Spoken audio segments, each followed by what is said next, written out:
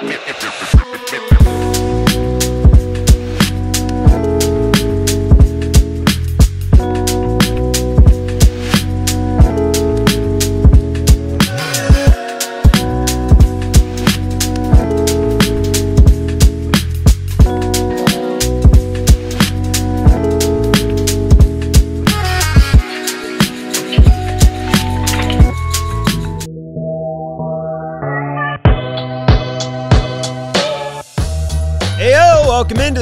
CHGO White Sox podcast, coming to you live from Studio 8 of our CHGO offices here in the West Loop of Chicago. I'm your host, Sean Anderson. Alongside me, the full CHGO White Sox crew. That's our CHGO White Sox beat writer, Vinnie Duber. You can follow him at Vinnie Duber. Read his latest piece about Garrett Crochet's first MLB start up at allchgo.com. And the man in the middle is Herb Lawrence. Hello. Follow him at Ecknerwall23. He's our CHGO White Sox community leader. You can follow the show at CHGO underscore White Sox. We're being produced today by Sarah. Hi. Hello. And make sure you're hitting that thumbs up button and subscribe button as you're joining us here on YouTube. If you're watching after the fact, hello. Thank you very much for joining us. from We the appreciate past. Hello from the past. It's like Herb's video. It's like getting a message in a bottle. Oh, Yeah. yeah. Is that uh, maybe we'll hear some police tunes thrown out because we're going to talk about the 2024 White Sox win song. Transition. Yeah, there Nice. you go. I try to figure it out. Um, talk about the 2024 White Sox win song. They didn't win yesterday, so we don't. We didn't need a song yesterday because they lost. Really can't play a song when they lose. We'll talk a little bit about Luis Robert Jr. growing as a star. We'll talk more about Garrett Crochet and even Michael Kopech's outing yesterday. And then we'll go to our diehards. We got some Discord questions, so we'll go into them. I think we got five questions Wow. uh, from diehards. What a showing. I know, right? Season started. People are amped. it's it's kind of gotten real active once Yeah. the season started. So Yeah, if and you, people are also like joining too. Like there's a lot of people joining. I think because of the baseball season, even though the White Sox look to be uh, kind of like a bad team, there's a lot of people just excited for baseball and the White Sox in particular. and you, if you are looking to join uh, and become a diehard, uh, like Alejandro did, not the Alejandro that we met yesterday, a different Alejandro. Wow. Two Alejandros. The Alejandros keep ro- rolling in. Yes, they do. Uh, Phil, Kent, and Chris, if you want to become a diehard uh, like AJ as well, who's in the chat, head over to allchgo.com, become a diehard. to get a shirt of your choice. It all comes in this nice box. You get some stickers, you get a membership card, and you get access to the CHGO Discord. You can pick two from one of our new opening day shirts. We got the Defend the South Side shirt and also Sunday Fun Day shirt uh, over at allchgo.com and the CHGO Locker, chgolocker.com. I feel like I'm missing something. No? You sure? Community leader? That was what we wanted. That's what you're great. you're talking about the diehards and Alejandro, Thank you so much. Nice job, All right. Sean. the other Alejandro. Yeah. Well, you know what people are going to be really excited for? You know what diehards are really excited for? Wins. White Sox haven't won. They're 0 1. I don't think we're expecting for a lot of wins. We all gave our predictions. The highest win total was you, Vinny, with 71 and 91. I don't know how you're feeling about that prediction, but we'll get to that later on in the show. They only gave up one run yesterday. They only gave up one run yesterday. I loved the comment yesterday that uh, Garrett Crochet lost the one on one battle between Tarik Skubal. Uh, and I'm like, that's not how baseball works. No, it's not. But I mean, like a good pitcher's duel, certainly. Oh, yeah. Like if you like pitching, that was the game, and they were both pitching very well. Garrett Crochet made a mistake and Tarik Skubal did not. Uh, so there you go. Congratulations, Tarik Skubal. Um, anyways, White Sox didn't win, but last year I had a video when the White Sox did win, and I really didn't even post it that much when they actually did win because it didn't feel like true victories because they were so bad and we expected them to be somewhat decent, uh, or at least more decent than they showed. But kind of know where this team stands. Offense is pretty tough. We know that the pitching is hopefully improving, and same with the defense.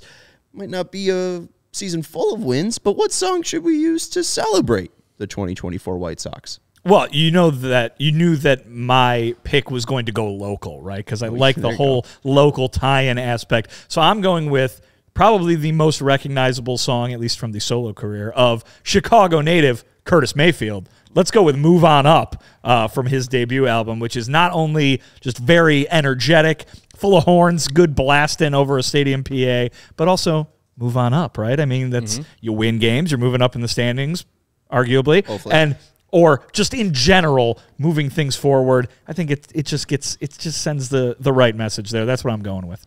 I'm gonna go with a song from that same v- era, but a different vibe.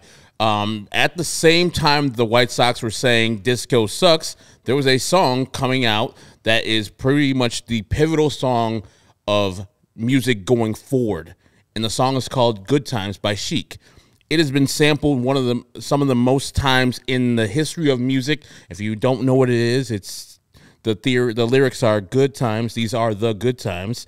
And so after a win, you hear that bass line by Bernard Edwards and you hear the guitar by Nile Rodgers. You can't do anything but to dance and to sing along with the song. It's much better than um, what is the song they sing now? Uh, Sweet Home sort of- Chicago. Oh, yeah. No, I, I Well, that's the second one. That, I- that's the second play after the win. yeah, I'm not a fan of that. There's some sort of It's the Blues Brothers, right? well, that's what they play kind of when people are moving out, moving out of the stadium. The one they play right away is some sort of Fall Out Boy esque nonsense. Yeah, and so you can just have a song that is represents that era that they were, and as Kevin says, Chic is just a phenomenal band, and we still have Nile Rodgers with us. Bernard Edwards has passed since then, but that song just to me makes me happy, and after a win, who doesn't want to be happy? I agree with you, and I, I think that's where I try to go. I, I almost picked uh, Le Freak by Chic, so I almost Also, picked the same damn band. Another great song. Um, but you know, I didn't want to pick something extremely mainstream. But I, I,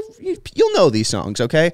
I also A whole list of Oh, I- candidates. I'm very, very, very. Uh, what's it called? Uh, I can't make a choice. I can't make up my damn mind. Panic at the Disco, Fall Out Boy, whatever. It's Same- all that it is a- awful. I didn't want to be. literally the same thing. I do not know the difference between the two people. I- I didn't want to be too on the nose with like you know anything with win or victorious, right? So the first one you talk about songs that make you want to dance. Uh, Back that ass up by Juvenile.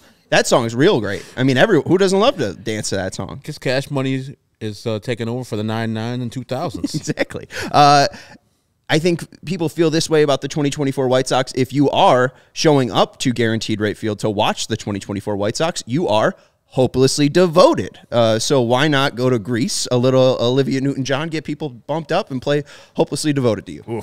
No, okay. I don't know. you guys are song. coming at me with disco and show tunes. This is a this is a poor segment in How my about opinion. how about that? Here's here's some rock for you.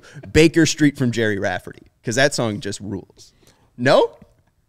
Come on. Okay. But right. also, I maybe, think- maybe I could have been a, a little bit Before we keep on going, uh, specific. I know it's classified as disco, but that song is universal. The guitar, the the saxophone.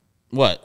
The Baker. You're talking about Baker No, Street. I'm not Baker Street. I'm talking about my song. It's Go. it is a disco song, but it's not of disco. I still had more. Oh, you had more I didn't know you were still talking about your song. Okay. I mean, you could. I could have gave you all the space you wanted. You All got right, more my- thoughts on Chic? No, I'm sorry. Go ahead. No, you're good. Uh, Wake me up when September ends, because I, because no, because the season ends just in the most just I mean literally That's- one of my favorite bands and you picked like the one song by them I don't like. But it's because the season ends in September. You know, That so it's is more true. Like people Yes. don't want to even true. watch the Yes. team. Um, how bizarre from OMC because how bizarre the White Sox won a game. Do do do do do do. No, okay. Um, and then this one is very specific. If Deivi García records a save, come on, ride it. Parentheses the train by Quad City DJs because it's the Davy train. Didn't write it. Come ride it. Do, do. Now you want to talk about bad uh, genres of music? That genre of music is terrible. What? Whatever that is. Space, Space Jam genre. yeah, the the the whoop. There it is. The write it type of garbage. The C+C Music Factory. That type of music is terrible.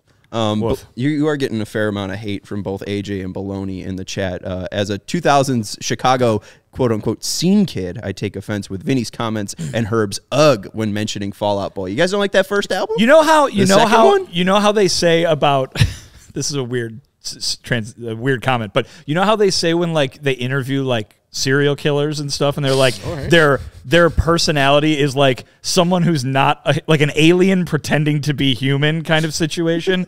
I feel like Fall Out Boy is like an alien trying to produce rock and roll, but having no idea what they're actually doing. They have found their niche of just doing stadium hits, so it's a good call to get them. I was just commenting that if you play a Fall Out Boy song or a Panic at the Disco song, I cannot tell the difference because the lead singers and the style of music sound similar. So if you play a song, I'm like, I don't know who that is. Okay. I mean, I, that's fair. I don't know how deep you've delved into the to, to scene music, but I, don't think that's that more just of because of the, is. the same sound. Uh, yeah, I, I, Fall Out Boy has really found a good niche since like 2014. They've just really done a great job of creating songs that could be used for NHL games. Um, Yeah. I, I don't know. It's not my type of music, but I think the stuff from 2005 ain't bad. You know that that I was I was young. It was, what from 2005 was bad. That was a great year. So you know, Jared, was very happy. Jared threw some Seger in there. That's that. I can get behind that. I can All get behind that. Uh, Rambling Gambling suggestion. by, yeah. uh, Bob Seger. Absolutely. Make sure you use the live one off a live bullet. I don't. That, did live versions hit with wins? I mean, they're good. In my opinion, I would enjoy listening to it. All right. Uh, I don't know if uh, Luis Robert Jr. would enjoy listening to Bob Seger. I think that would be a fun conversation that you can now have with him. I mean, he. We have a hard enough time getting Luis Robert Jr. to just not eat Domino's pizza. I think if I went up to him and started talking to him about Bob Seger, he would look at me as if I, you know, had just walked in from Antarctica. But hey, now we know that he would understand you. He would at least know that he can recognize the words Bob Seger. Uh, we saw yesterday before opening day that Chuck Garfien chatted with Luis Robert, although briefly. I think it was two quick questions, but it was Luis Robert's first full English interview. And what I've heard from just now, you know, since that has happened, from what you guys are saying, it seems like Luis is getting real comfortable with just when you guys ask him questions, he doesn't really need to lean on Billy to translate those questions into English, and he seems a little bit more understanding of the language, which is huge for the superstar. Yeah, I mean, listen, uh, the the White Sox have this as as as part of their organization. You know, uh, specific employees who their job is to teach these young prospects that they bring in from from whether it's Latin American countries or, or anywhere else in the world where they do not speak English and teach them the language. I mean, it's a very much um, part of your life, not just your work. You know what I mean? And so, um, if you're only going to work you know, from nine to five, let's say every single day, there's those other hours that, that you've got to be living. And it, it- the White Sox are taking the responsibility of, of bringing these people to the United States to work and live. They are also taking the responsibility of trying to uh, make their lives easier by helping them learn this, uh, her, learn the English language. Um, and we've seen over the years, certainly over my years of covering this team, whether it be Jose Abreu, who was here for a very long time, Yoan Moncada, Luis Robert Jr. now uh, among them. From year to year, less translating has to be done by Billy Russo, who does uh, uh, the interpreting for the White Sox when we ask questions because these guys do understand it because they live in this country. They know, you know, what they're doing. Um, they know what we're saying more and more as time goes along. Um, and I think you see the same thing with all three of those guys because uh, Luis was actually asked yesterday, "Hey, we we see that you're understanding what we're saying. Are, are you planning on answering some questions in English too?" And I think his, and the answer that he gave was, "I think I have it." The language, but I'm I'm fearful of doing it in front of the cameras, and and I think you know when you have everything that you say captured, your meaning is not necessarily coming through, right? All hundred percent clearly. So when it's a conversation with someone like myself who's not, you know, holding the TV live running TV camera there, um, maybe it could be, oh, I know he was trying to mean this kind of thing. Whereas if you're just presenting the video, that's what you're getting kind of thing. And I think that's what Jose Abreu. Um, you know, Jose Abreu never did an interview in English his whole, and he was here for basically a decade.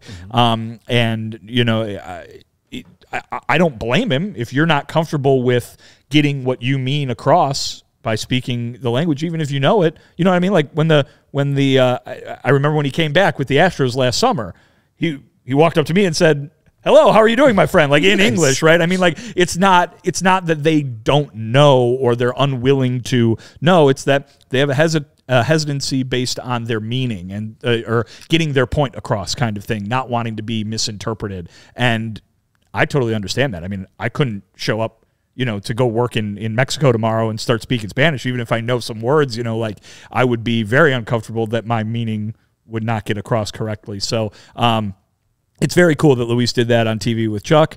I would not be surprised if maybe sometime on the road when there aren't cameras running, there is an, an interview done in English with him or something like that, uh, or even just a little bit more interaction, even if it's off off the record kind of thing. So you know, nothing but applause to those guys who um, you know uh, come over here from an entirely different country, an entirely different culture, and speak the uh, speak an entirely different language and manage to over the time here get more comfortable and and and show a willingness uh, to to to interact.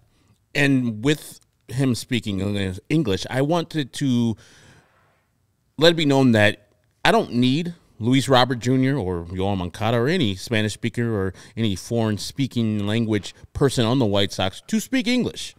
Their job is not to communicate with us. Their job is to play baseball. So when they do do it, it is a extra effort for me that is impressive because as Vinny just said, they're coming from a foreign country with different customs, different languages, and to uh, learn English from Spanish, which Spanish is a Romance language, so it's a little easier to learn like another Romance language like uh, Fran- French or Portuguese. But you're going to English, which is a total different thing. It's Germanic.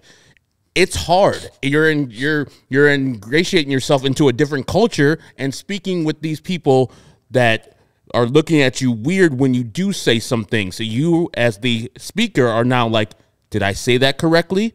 Am I conveying my message correctly in their language. And so it takes bravery for a person, firstly, to commit to learning English because for all those people out there in the United States, there is no official language of the United States of America. You can speak whatever you want to, but I know people out there like, oh, you got to speak English for me to go to you. I know people hold that against Yoan Moncada specifically because he doesn't speak English, doesn't communicate to the fans. So for Luis Robert Jr. to do this, it takes a lot of bravery, it takes a lot of skill, and I think it's unnecessary, but I love that he's doing it for himself to further his languages and to further his comfortability with the United States audience that he is serving. Linguistics expert Herb Lawrence. Not really. Look I just at you. I No, just looked. oh, at- come on. I just looked the it up. romantic languages, Hey, the Germanic languages. Nothing he said was wrong. No, I know. I, I, I called him an expert. Yeah, I just looked it up. That's all it is. Like it's tough. Like I, as Vinny said, I know some Spanish. Vinny probably knows a lot more because he took a lot more classes in Spanish. But I couldn't go to anywhere that speaks Spanish and say have a full conversation and understanding. I could pick out words. Oh yeah, you said uh, también also. I got you. But other than that, no, I wouldn't speak Spanish at all in another language. And if I, even if I was living there for five straight years, to talk on a microphone in that language with other people like critiquing your language, no, absolutely not. I went to Mexico at the end of last year, and man, did I butcher the hell out of that language. Uh, yo hablo español. You said hablo. You know Oh it's my just hablo, right? Pablo. Well, again, I butchered the language. I, The I, H's are silent. I think it's brave of Luis Robert Jr. And hey, I, I'm not expecting him to come out and you know give a, a five minute monologue or speech or anything. It's cool that he can interact, and at best, he can now at least interact with young children when he's signing autographs. And it's just you know a brief like hello, and he can go back and forth and just exchange stuff. I think I could say you know hola. Uh, como estás and you know just have a, a brief interaction. But i think that would mean the world to you know even a child who's looking for that, that autograph and that interaction with their favorite player. So i think it's very cool of luis robert jr to show this side of him and be bold enough and brave enough to try it out because you guys are absolutely right. Uh, i would not want me speaking spanish uh, on tape even though I, I guess i just threw it out there with my hablo You didn't really speak it. Oh, well, that's that's fair. All right, uh, let's take a break, and uh, we'll let you know about some of our sponsors, and then we will talk more about Garrett Crochet and Michael Kopech's outing yesterday. We want to let you know about our friends over at Ray Chevy. They have their best offers of the year during the March Radness event. So rad. so rad. It's so rad when Illinois wins, huh? Herb? ILL. I and I. There you go. Make your way to Ray Chevrolet on Route 12 in Fox Lake to join in on the savings. As one of the top selling Chevy dealers in the Midwest, you'll always be able to shop one of Chicagoland's largest Chevy inventories, and they have perfect tailgating vehicles that await you at Ray Chevy during Truck Month. For a limited time, they're offering 0% financing for 72 months on new Silverados with over 100 available, and they have 125 vehicles under $20,000. Uh, dollars. Seriously, can pricing get more affordable? I don't think it can. I guess it can because they're offering you a free oil change. Uh, right now, at Ray Chevy in Fox Lake. You can get a free oil change, and all you need to do is mention CHGO when scheduling your oil change. Start off the new year right and schedule it by April 1st. Visit Ray Chevrolet in Fox Lake or raychevrolet.com. They've been serving the community since 1963. Find new roads. Eating better is easier with Factor's delicious and ready to go ready to eat meals. Every fresh, never frozen meal is chef crafted, dietitian approved, and ready to go in just two minutes. You'll have over 35 different options to choose from every week, including Calorie Smart, Protein Plus, and Keto. Also, there are more than 60 add ons to help you stay fueled and feeling good all day long. What are you waiting for? Get started today and get after your goals. You can discover a wide variety of easy options for the entire day, like pancakes, smoothies, and more. Factor meals are also ready to heat and eat, so there's no prepping, no cooking, no cleanup needed. Also, with Factor meals, you can get as much or as little as you want by choosing your meals every week. Plus, you can pause or reschedule your deliveries at any time. Factor is also the perfect solution if you're looking for fast premium options with nothing, no cooking required. We've done the math. Factor is less expensive than takeout, and every meal is dietitian approved to be nutritious and delicious. Head on over to factormeals.com slash CHGOSOX50 and use the code CHGOSOX50 for 50% off your first Factor box. CHGOSOX50 at factormeals.com slash CHGOSOX50 and get 50% off. Thank you, Herb. Uh, we didn't get to this part in the Robert discussion. I guess we could throw it out because I know Vinny had some thoughts. Uh, Kevin Kaduk yesterday asked me at Ballpark Pub who are the superstars in Major League Baseball. I gave him 13. Uh, I know one of them, uh, Vinny would contend, and he also wants to add some on. I don't know about her, but I have Aaron Judge, Ronald Acuna Jr., Mookie Betts, Corey Seager, Freddie Freeman, Juan Soto, Yordan Alvarez, Mike Trout, Shohei Ohtani, Bryce Harper, J Rod, Fernando Tatis Jr., and Vlad Guerrero Jr. in no certain order, obviously, if we were going to rank them.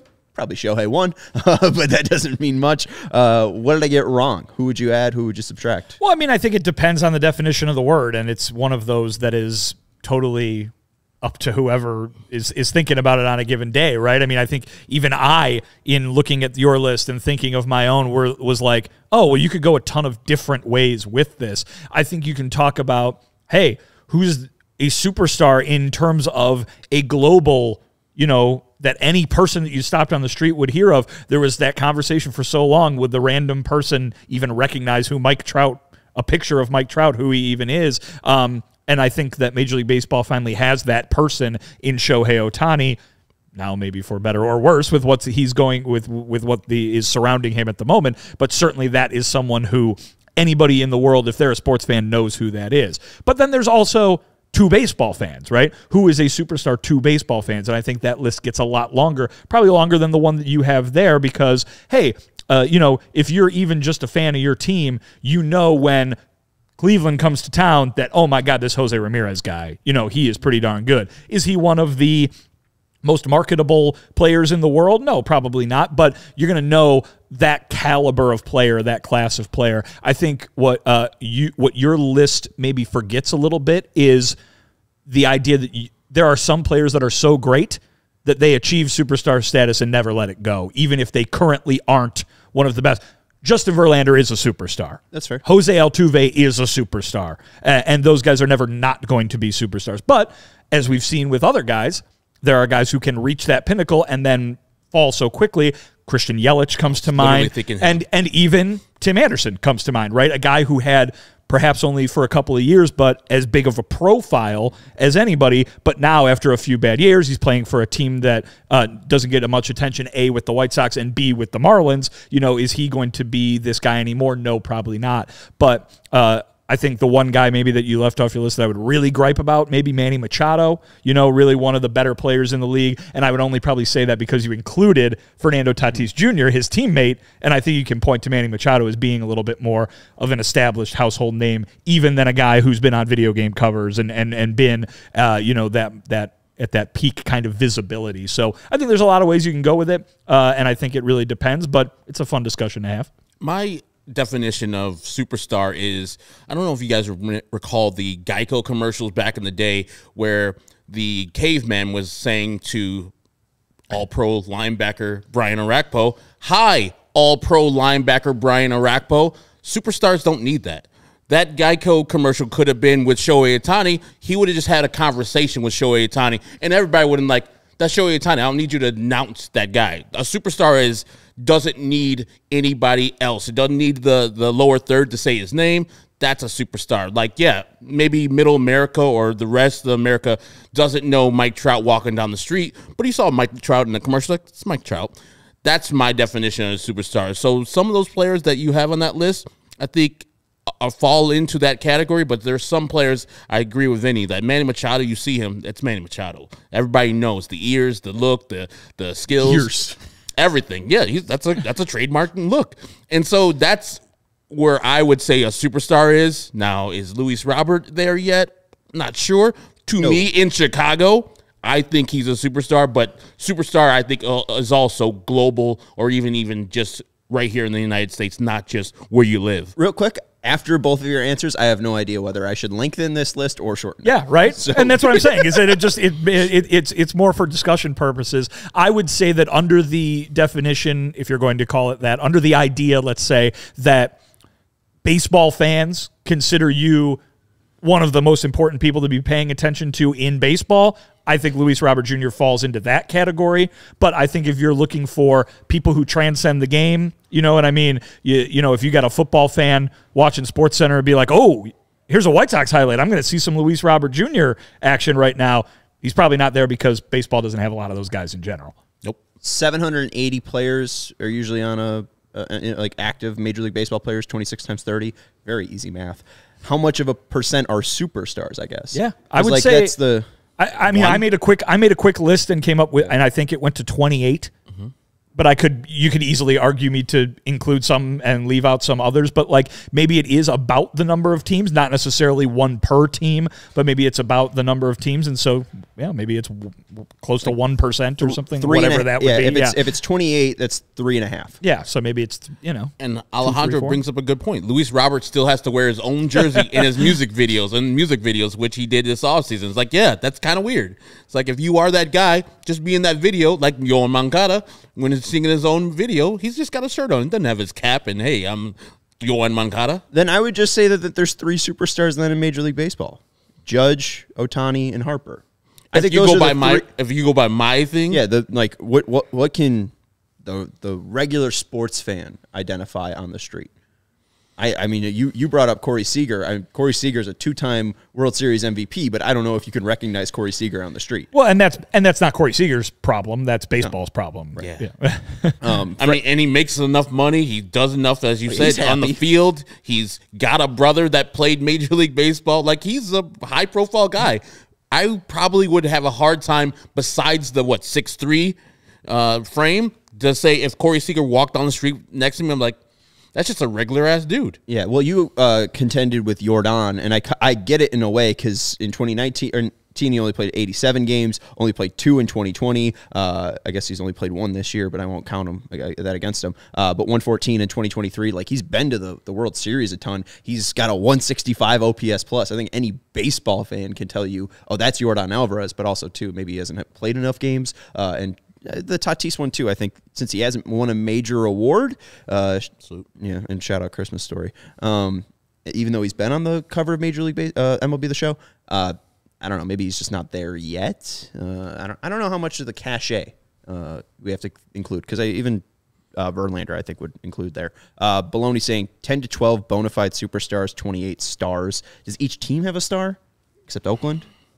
No, but I think there are there are teams that there are teams that have three, you know, The and there are Dodgers, teams that have zero. You know, so I think it kind of balances out in the end. Right? Well, the Dodgers have Will Smith on their team. Well, I think he'd be pretty he's a visible. You wouldn't yeah. you wouldn't need me to tell you who Will Smith was, right? Tell me, tell me the superstar on the team that scored 14 runs in the third inning last night. Uh, you could just say the Diamondbacks. I don't know if anyone. I'd put I'd call Corbin Carroll a superstar right now. We'll see what happens two Uh, two three years from They're now. all but yeah. great. I'd put him in the star. Yeah. I, I think he's where Luis is right now. But he's like diminutive. You see him on the streets. You see him in a commercial. Like, who is that? Is that Dansby Swanson? Is that? Whose cousin is that? yeah, exactly. Like he's yeah he is of a, a stature and he's great as baseball fans. But like you put him in a commercial, I would know if that was him. Uh, Want to take a break and then we'll get into some uh, uh, Garrett Crochet and Michael Kopech stuff. I didn't get this at the top and want to make sure that we do also welcome you into the CHGO White Sox show presented by Fa- Factor Meals. You'd co- use code CHGOSOX50 to get 50% off your first Factor box and free wellness shots for life with any active subscription at factormeals.com slash CHGOSOX50. Also want to let you know about our friends over at Circa Sportsbook. If you are looking to bet or wager on the games this weekend, uh, whether the White Sox on Saturday or Sunday as they play on the Detroit Tigers, check out our friends over at Circa Sportsbooks. Game will Games will strive to be a minus 110 split on the circuit menu, unlike other sports books, which may use a minus 115 or minus 120 split. What that means to you is if you wager on something at minus 110 compared to minus 115, you will win less money at minus 115. They are trying to make the lines appealing to you, the sports better, and they also want to be appealing by not limiting you. They're not going to limit you based on their winnings. Every player has the same limits,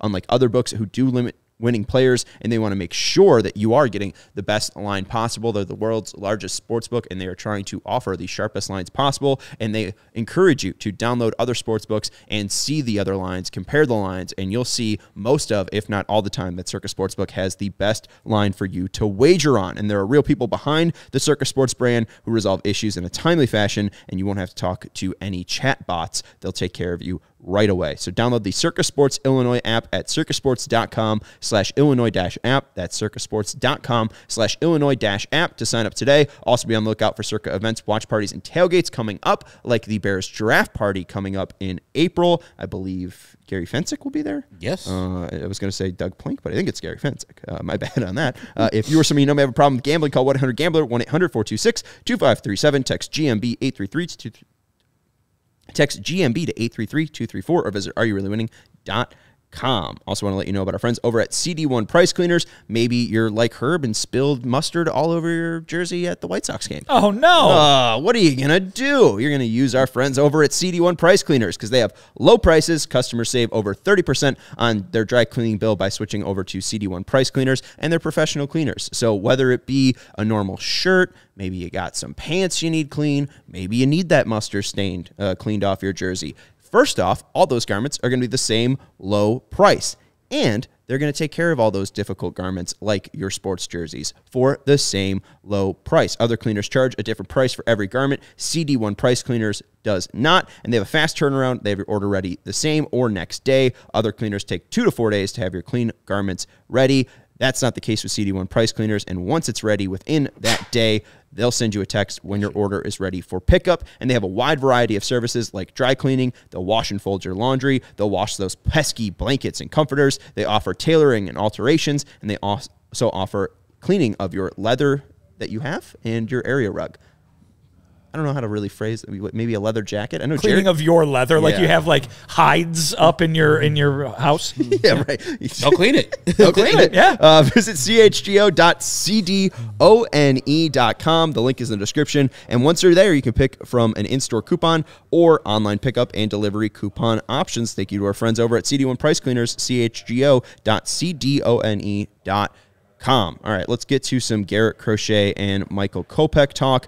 First off, I've brought up Stuff Plus before. Yep. Uh, obviously, that's a Eno Sarris thing. He started that, uh, the father of Stuff Plus, over at the Athletic, and basically, it's just trying to grade a pitcher's arsenal, right? So, 100 is average for a major league pitcher. Anything over 100 is good. Anything under 100 is bad. So if we could see the daily leaderboard from yesterday, let's see who topped the daily leaderboard because these are all aces. These are all the best pitchers, unless someone's hurt, like Gerrit Cole or maybe uh, you know Jordan Montgomery's not on the Diamondbacks yet. Most of their teams throw out their best pitchers. Uh, Sarah, it's not this one. I'm sorry. It's it's the one with uh, all of them on. Thank you very much. Let's look at this list. Oh, my. this is from at TJ Stats on Twitter, Thomas uh, Nestico, and it's a nice way to visualize all this stuff.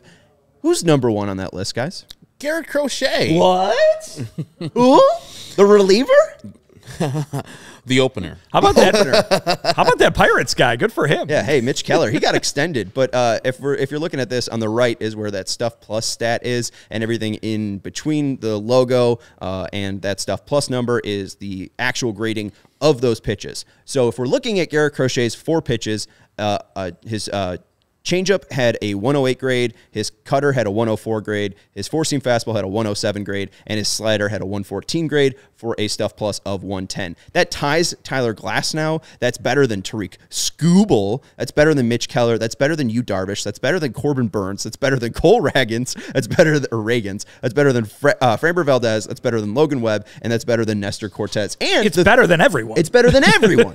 I just wanted to go through all those names because those are all aces. And there are, what, 29 other names that he's above. A crazy outing from Garrett Crochet. And just seeing that stuff plus at 110, he being able to do that for 87 pitches. His first career high, or his career high before this, was 46. So nearly doubling his career high in pitches, and he was able to keep his stuff not only next level, but elite for the entire outing.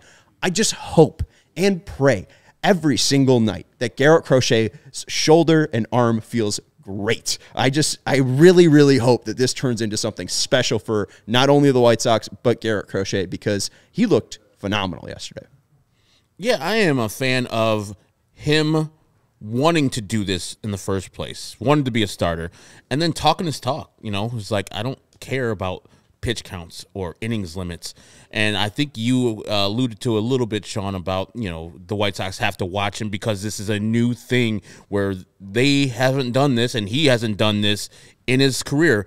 But for a debut, I don't know if there has been a starter that has that filthy of a stuff and then the confidence that's behind it. I'm I'm just shocked that he talked it into existence and then went out there and executed it.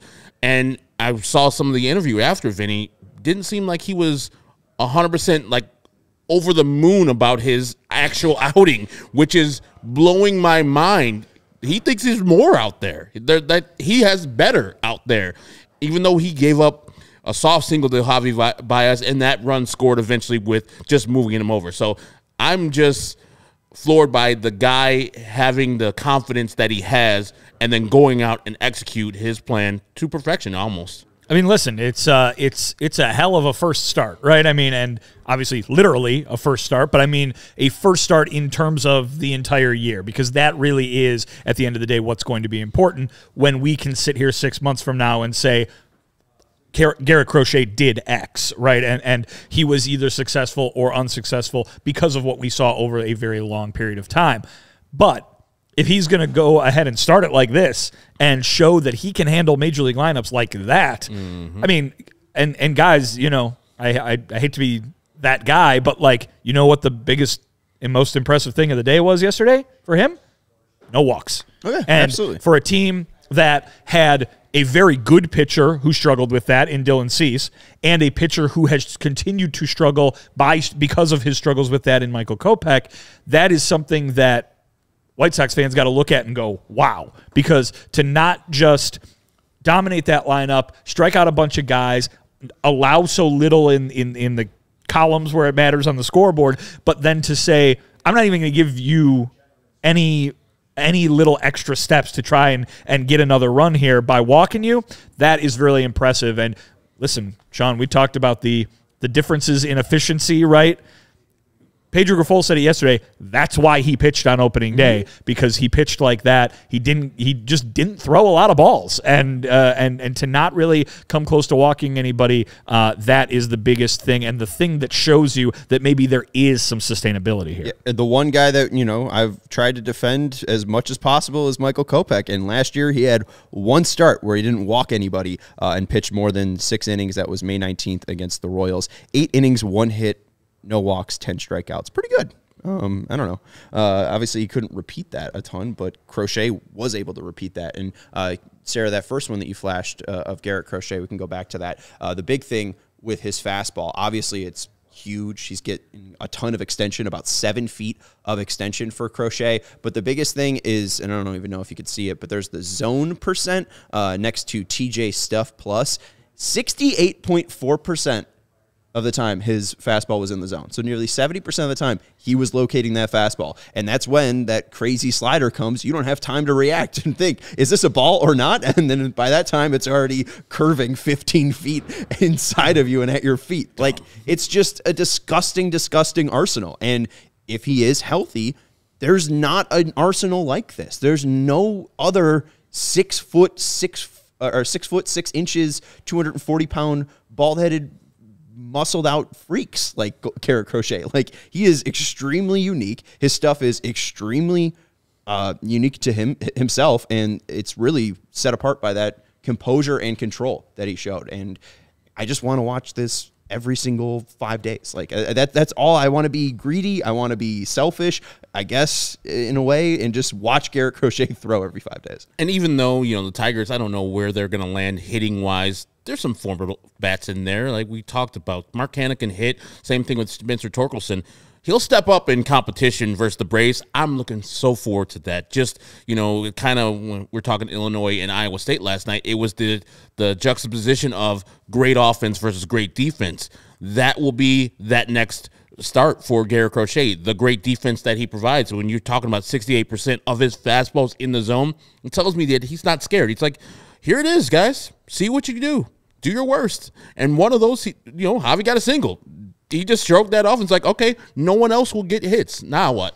So I'm looking forward to his next start. Even if he gets touched up a little bit, everybody knows the Braves are the Braves and they have hitters. But I don't think he's going to get absolutely destroyed, and I don't think he's going to shrink and not allow them to hit his balls. They're like, here it is. If you can hit it, I'll tip the cap. But otherwise, you go sit your ass on the bench. And that is a thing that the White Sox haven't had as a starting pitcher like actually every day. I don't think since Lu- Lucas Giolito was doing his thing at the height of his White Sox starting.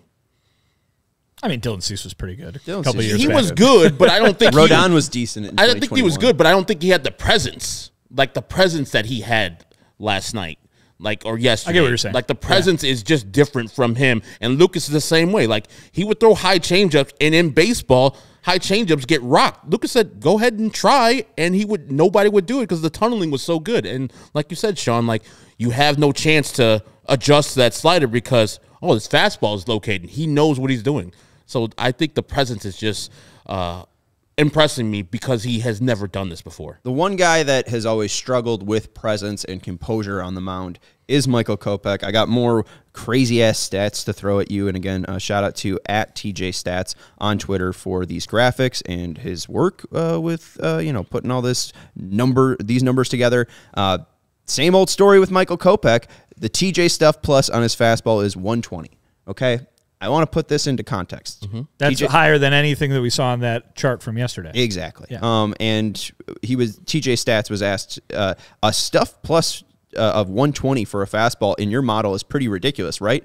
Very much so is the response. That's the thing with Michael Kopech is he has one of the most unique fastballs in all of baseball. The issue is just like Ricky Vaughn, Nuke LaLoosh, and Kenny Powers is he can't locate it. Are you telling me that Michael Kopech is fictional? I, I think he might be. And truly, like, unlike those guys, he doesn't have this exuberant personality, but man, he's got a disgusting fastball. And it's the same old Michael Kopech that we saw, uh, you know, throughout 2023. Six plate appearances, one hit, one walk, one hit by pitch, and a strikeout to end the inning. That was just demonic stuff. I mean, you talked about it. It was a fastball high, or no, it was a fastball low, it was a fastball high, and then it was a slider low, and it was the best slider, I think you said, that you've seen from Kopech. And it, I don't know if he needed the reset from Ethan Katz and needed the, the talk It helped. to.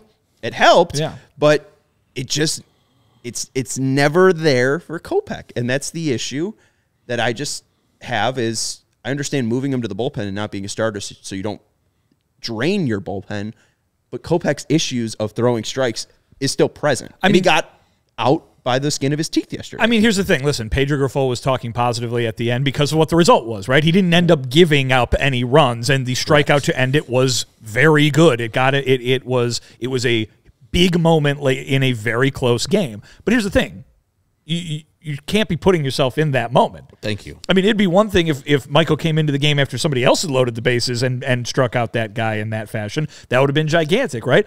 But he loaded the bases. He hit a guy on an 0 2 pitch, and then he gave up a, a, a hit. Uh, uh, the single came in another count where he was ahead 0 2, and then he walks a guy with two outs. I mean, this is what Chris Getz was talking about the in the the problems with getting out of innings, the fact that that pitch count is going up, up, up because he can't finish things the way that he that he should that he's expected to be um, that's why Michael Kopech is not starting And I think our question that we all have remains unanswered after seeing him throw in what admittedly is just one regular season game is why won't those same issues be a problem in a in a relief role? And we saw yesterday that that game could have gone from tie it with one swing when Luis Robert Jr. comes up or whoever comes up uh, in the bottom of that inning.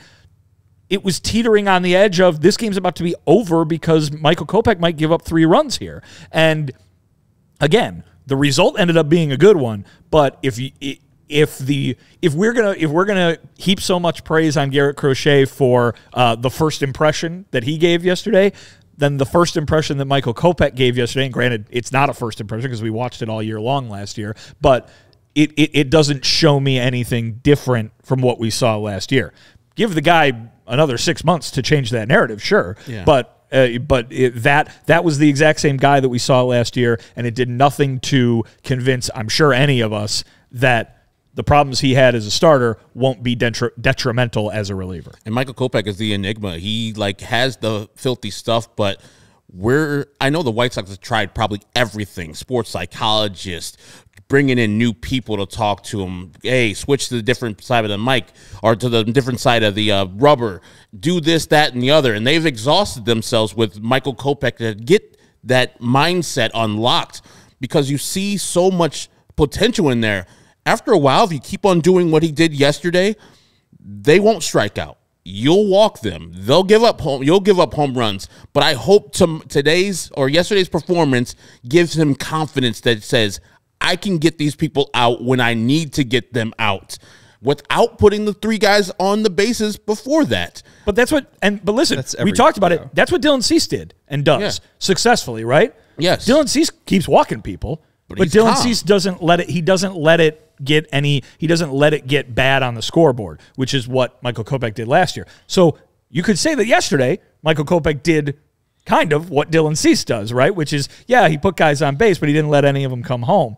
To me, though, it was he didn't finish off at bats. He didn't finish off the inning when he could have. He could have made that a lot easier on himself, and he made it much harder on And it seems very difficult for him to truly build off of it because I just brought up that May 19th start, and he had five straight starts where it was eight innings, one hit, no walk, 10 Ks, seven innings, two hits, one walk, nine Ks, four and a half innings where he got roughed up a little bit, five hits, two walks, 10 Ks, seven innings, three hits, one walk, nine Ks, five innings, five hits, one walk, six Ks. That's what, five straight where he had no more than two walks in an outing? Like, and then it just all crumbles. And that on June 16th, it's all him crumbling. Like I, I don't know what it is, and I honestly think that it could just be he's just not that good of an athlete.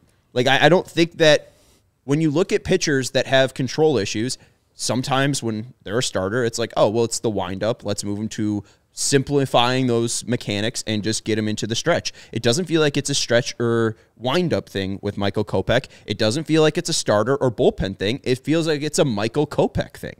Like it, plain and simple. It, Michael Kopech needs to figure out what's wrong with him and how he can throw that fastball for a strike. Hopefully, Brian Bannister can help him along the way. Maybe it is truly biomechanical, and hopefully, they've invested in the technology to help Kopech with that. But at this point, he is what he is. And he's going to be a wild, sometimes ineffective relief pitcher. And if they want to use him in high leverage like the eighth inning, that's fine. But hopefully they don't have a lead to protect. Because that's not a guy that I want on the mound No. with a lead. I No. don't. I, and I Well, and a one-run deficit is is basically the same thing. I, well, yeah, and- and I didn't like the move. I mean, I understand. Like you want you don't Yeah. you don't want to demote the guy and then not give him a big moment to come into. Thank you. But if he comes into that moment and does what he does yesterday, I don't have more faith in him. I lost faith in Michael Kopech after yesterday. Did you? Yes, I'm the Kopech guy. You and are. the whole point is that the guy can't throw strikes. Did yesterday's show that he could throw strikes? That he could be confident o- on the mound? He needed a mound visit. No one else needed a mound visit yesterday, and I'm not trying to bash like the mound visit, but like it seems like Kopech is different from Crochet, Deivi García, and even Dominic Leone. And that's the thing. Like, if we see it and the pitching coach sees it, don't you think the opponent knows that Michael Kopech is already struggling with his confidence and his stuff each time out? You saw the numbers. You br- brought up the numbers. When he's out there doing Michael Kopech, No one can touch him. The Yankees told you with their bats that one day that they can't touch him, and they were not very confident in what they can do versus him.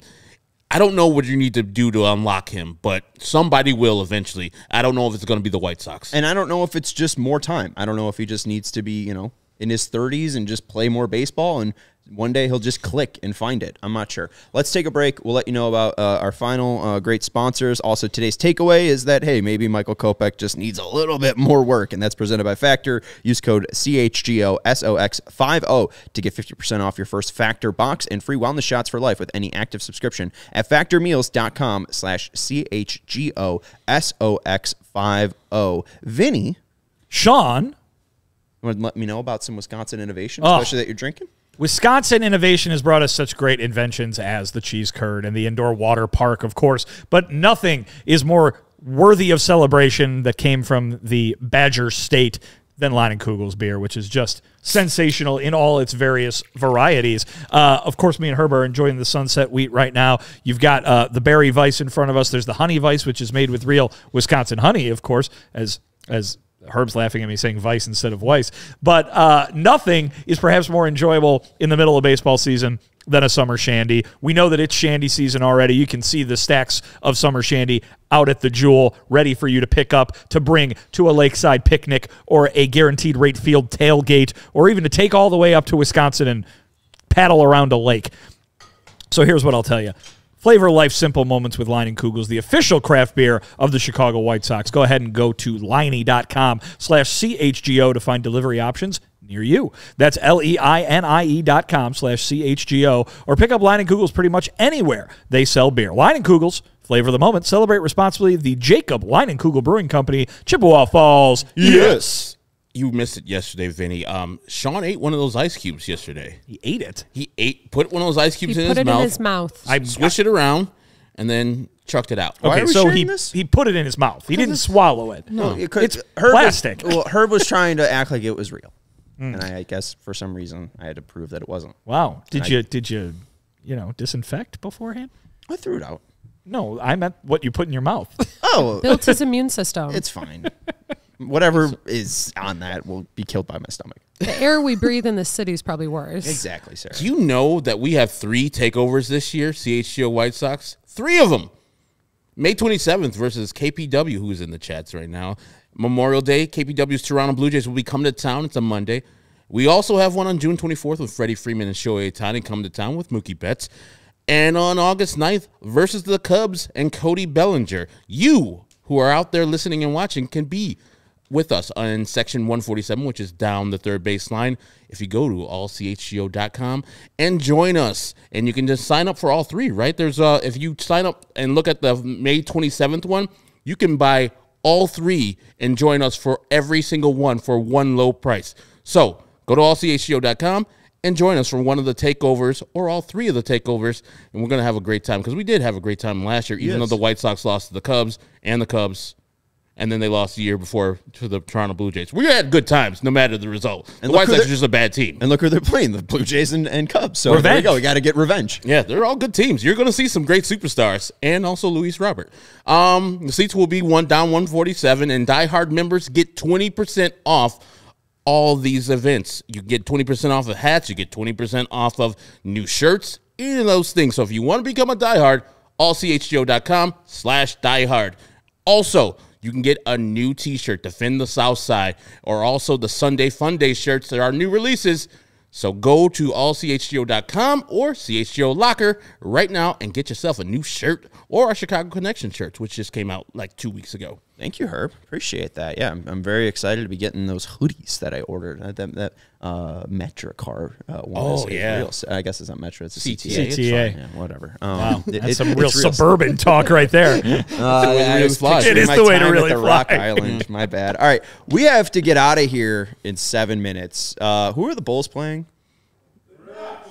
Brooklyn Nets. Yeah, I mean, that's They're not the Must- New Jersey Nets anymore. must, Kerry Kittles doesn't play for them anymore. They don't they don't play at the Brendan Byrne Arena anymore? no Jarrett Jack. Oh, all right. Uh, let's go to at least some of these mailbag questions. We don't have to go to all of them because I don't think we will. Also, uh, Maybe James, one. We might get one in. James, yeah, James Fegan reporting uh, that uh, uh, uh, Yoelqui Cespedes no longer with the White Sox. That he's Ah. been released from the organization. Uh, let's go to this one uh, from Octo Bear. I don't know if that's a bear that With is an legs. octopus or a play on October, but I'm surrounded by Cubs fans. Why, since birth, did I decide to be a Sox fan and stick with it for life? I think you know, depending on how old old you are, that was kind of the thing. If you chose a team, you were with them for life. I like kind of how the younger generations than mine, the millennials and the Gen Zs and the Gen A's, are kind of like I'm choosing a player, I'm choosing a person, and if I don't, that person doesn't. You know, do what I want them to, or that team doesn't do what I want them to. I'm going to another team. They don't have the fear of being a and labeled a fair weather fan or a bandwagon fan. It does feel like a question that should be asked uh, on a therapist's couch rather than to three guys with a microphone. Uh, let's go to Sam's question. Uh, he asked, "What is the most optimistic outlook for the season moving forward?" Garrett Crochet does that more mm-hmm. times than not. I mean, honestly, I, I know you're looking for a team record thing, and listen, maybe they do some, maybe they surprise everybody and win more games than we thought. But in terms of what is the best for this organization, it's the long term stuff showing up quicker than than than imagined. And Garrett Crochet, maybe by the end of this year, is a building block that you build your rotation around. Maybe Colson Montgomery comes up and and and, and shows you some real promising things. Um, so the the the best case scenario for the season is that they make progress toward their goal of having another contending team. Garrett Crochet showed you in just one game of 162 what that progress could look like. I agree. Yeah, just finding as many building blocks as possible. Seems like they got one in Robert. Maybe Crochet will be one. Hey, maybe Nick Nastrini will be one later on down the road. Uh, let's go to the next one from Paul Z, who gave the show some love. We appreciate it. Paul also said, "When is the trip to Chippewa Falls, Wisconsin? Any Yes. any ti- any time that you want, I'll be happily attending. Can we do the show in Chippewa Falls, Wisconsin? It's only five hour drive, and five hours is not too far to drive. I've driven farther. Just got to get expensed." Uh, uh, there was another question on that th- there, Sarah. I'm sorry, uh, from Paul. Uh, Just the last one. My bad. Uh, what are the ways we can assess the progress of the rebuild? He was asking more stats wise, maybe team wise. I think the biggest thing is just they talked about pitching and defense. If you see their outs above average go up, that would be great. They were at negative 17 last year as a team for outs above average. If they are anywhere near zero or a positive number, I think that's great. And if they have a team ERA that's lower from next year, great. And I'll say this too. Remember the other focus this offseason, you know, the culture stuff, the clubhouse stuff. If you see the White Sox lose as many games as a lot of people watching this and a lot of people around uh, baseball think they're going to lose, but they don't fall into the same culture traps that they did last year, that is progress. And and to to be able to have that foundation that isn't going to let the results of a season destroy everything, that is an important sign of progress if they do make it. I hope they don't look at the record because, as I always say, process over results. If you're seeing actual good fundamental baseball, yesterday for the most part, I saw better baseball on the defensive side. The at bats were poor to me, so I need that to improve. And I know Ian Robo is thinking the same thing. Uh, I did look at where the balls they put in play were like thrown, and a lot of them were middle in. So it did seem like they did a decent job of swinging at pitches that they they wanted to. The balls that they did put in play, most of them were in the zone. This is just against Skubal, so hey, I mean, I'll I'll take that if we're looking for any you know light uh, silver linings. Uh, one more from we got two more. Uh, one from Ian. Uh, have we already seen the Bannister effect? No. I mean, maybe you think he'd be working with Garrett Crochet. It's only been nine innings. Huh? It's only been nine innings. Right. Well, I mean, maybe you have, maybe you haven't. I think what I think you've seen it in what this pitching staff currently looks like. I mean, they tore apart this entire pitching staff. There's one guy on the team from opening day last year. That's Michael Kopech, who's not who's not a starter, but in the bullpen. The Brian Bannister effect has definitely already been seen in the terms of look at the offseason they just have. This pitching staff is entirely different than it was a year ago. I think it, it, at least result wise, I don't think we can just look at one game against the Tigers uh, and and see that result as Bannister taking over. But you're right. I mean, what I think that uh, Crochet, uh, Kopech, my guy Deivi, and uh, Bryan Shaw and Tanner Banks. Those are But the only guys the that end were. of last season. Right. Yeah. No, Yeah. for sure. That just even Yeah. were on the team Right. last year. Uh, I mean, uh, Leasure uh, didn't even make it to the Major League Baseball last year. He was in the organization, but still didn't even make it up to the majors. Uh, all right. Uh, one more from AJ, our guy. Also, uh, Ian asked about the hitting when the hitting could be fixed. I don't know. Never. I thought they might try to fix that this year, but it didn't seem so. Uh, final one from AJ. Uh, what is your favorite restaurant in the city? What is your usual go-to spot? Go ahead, Herb. My go-to spot is a place called Kie-Gol-Lanee in Uptown. It's a Mexican restaurant that does Oaxacan style, delicious.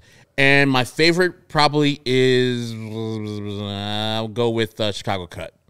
Uh, favorite restaurant? Uh, I love going to Union in Logan Square. It is attached to the Meadowlark, which I think is the best cocktail bar in the city. So you do those at the same time, and that's great. My go-to Bien Mi Sabe on Montrose in Ravenswood, Venezuelan food. The arepas are fantastic. Everything is fantastic, and.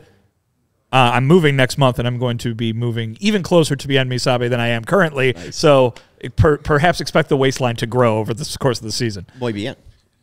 Wow. See, Tostones, See? too. there we go. Uh, he- uh, AJ threw out uh, some uh, what was it? Bougie picks. He said uh, that he loves uh, Bites Asian Kitchen on Clark and end up Very good. at the bar on Buena or Jake's Pub uh, in uh, Uptown almost Ugh. once a week. And Not if- a Jake's Pub on the rough at all. Ugh. okay. It's a greasy spoon. Not Uh, and if they're talking if uh, fancy slash expensive, got to go with Trivoli Tavern or Riccardo Trattoria. Uh, the one Mamma place mia. the- that I liked. I'm not, you know, obviously I'm, I'm still new to the north side, so I'm still getting like my favorite spots up here. My true go to on the south side, just pizza. Go get Milano's. It's very, very, very, very good. Whether you're getting deep dish or thin. Uh, the one place that I really like that's kind of a little bit more affordable, less bougie, is uh, Duck Inn. Uh, love the Duck Inn. really good. love the Duck Inn. Go get the duck in hot dog, and that's just a really lovely, beautiful spot. Oh, the patio's fantastic. Right. You got to order the duck the, a day before. The rotisserie if you want the duck. Yeah, rotisserie yeah. duck, you have to call them the day before your reservation and order it. It's so good. It's very worth Yeah. it. Uh, and then uh, if we're going bougie, there's a place uh, around here-ish, uh, Heritage, Chicago. Uh, a very good spot that I've gone to like I think six times or so. Uh, very, very good. So uh, th- those are my spots. Uh, you got anything, Sarah? You're a Chicagoan. I would say my my go-to favorite restaurant is a place in Lincoln Park, Old Pueblo, and it's a Mexican place. Really, really good. Really good margaritas. Um, and then honestly, any place in West Loop is really, really good by Fulton Market. All those places are good. Muy bien. Uh, so that's going to do it for all of our uh, suggestions. Make sure you're hitting the thumbs up button. Make sure you're subscribing. We got the Bulls pregame as they take on the Nets coming up right away. We got to get off the show, anyways. Uh, thank you to Sarah for producing. Thank you to Vinnie, our CHGO White Sox beat writer. That's Herb Lawrence. I'm Sean Anderson. Follow us at CHGO underscore White Sox. Goodbye. We all silly like the mayor.